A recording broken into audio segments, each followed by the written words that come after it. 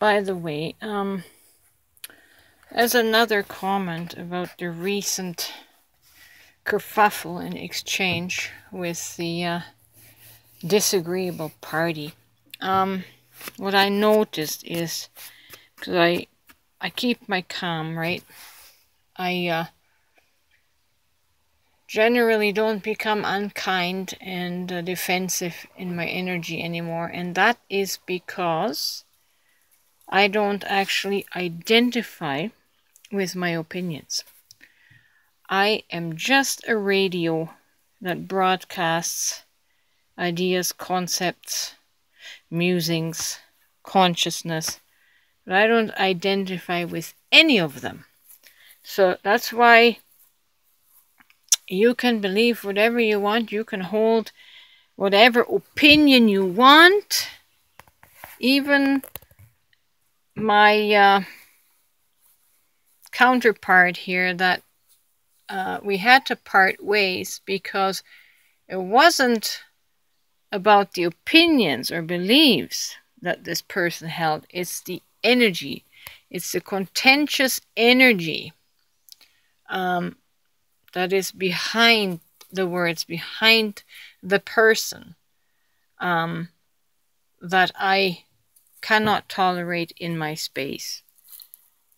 Again, I don't care what you believe, but if you bring friction energy, contentious energy into my field, I'm going to have to ask you to leave or I'm going to have to block you. Right? It's the energy that is um, not harmonizing. So believe what you want, but your energy is generated by your wounds, by your shadows. And because you have still so many shadows to clear, you cannot, um, you can't remain neutral when someone rejects you, right? Because you identify with your ideas. Believe me, I have learned this lesson of rejection. I have learned it with my twin flame. and I threw a tantrum and I threw a fit and I was a real, uh, my narcissism came out really, really strong. The abandonment and rejection wound, like I mentioned in the previous video, that felt like, how dare you reject me? How dare you try to control me? How dare you set a boundary? How dare you? You slam, slam the door shut in my face. I learned my lesson and I got to know my shadows. And I healed my shadows. I transmuted my shadows. That's why I don't care now if somebody slams the door in my face or rejects me. I don't care. I felt that vibration to the nth degree. And I processed it through me until there was no longer a flare up. Like a propane burst.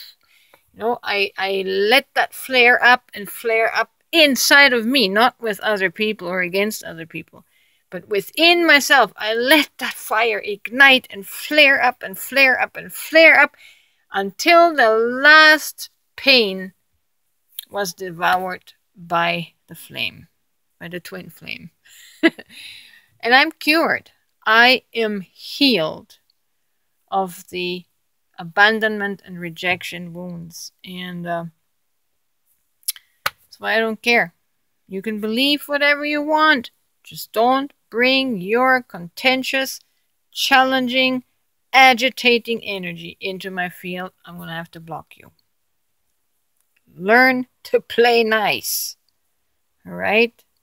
If you call that controlling you, well, sometimes a little child needs to have parental controls because it's too immature to know how to conduct itself in the company of adults. All right? So, just play nice and there wouldn't be a problem. But I'm not blaming you because I know why you can't play nice. You need to do your shadow work. Please. And then you can come back and play with the rest of